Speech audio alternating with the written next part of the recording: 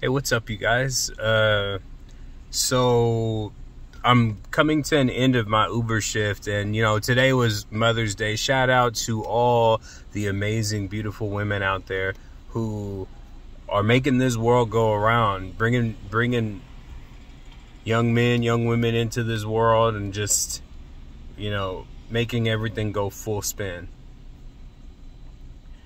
I uh I want to let y'all know this, you guys. There is nothing, nothing that, that the that's going on in your life right now that the Lord will not equip you to get through. I want y'all to put that in y'all's hearing, put it in your mindset, put it in your heart. That way it can just be a part of you. Wherever you go and whatever you do. God, it says it in his word, Jeremiah 29 and 11. I knew you before you know, you came out of your mother's womb. I knew you before your mother's womb. I have plans uh, to prosper you, not to harm you, to give you an expected future, an expected end, you guys. He's not going to let us. I'm convinced. I know this. I've seen it a million times, and not just for self. I like to speak on stuff when it involves the next person.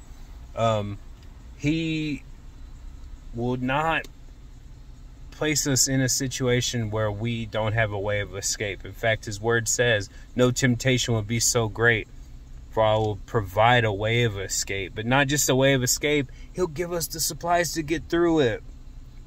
That's the fun part. He'll give us the supplies to get through it. Ask me how I know you guys. Y'all be blessed.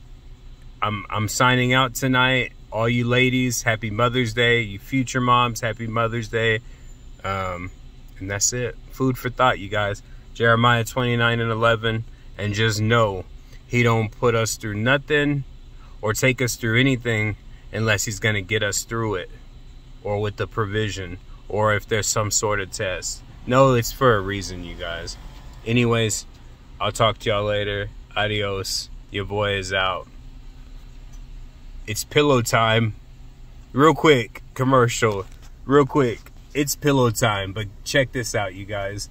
I don't even know how to act at the house. I'm like, what do I do?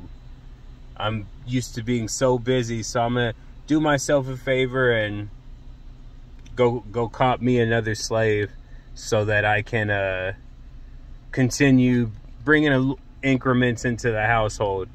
Um, for those of y'all who are not familiar with what I just said, I'm just gonna get another job and uh, keep the, keep the, the money rolling.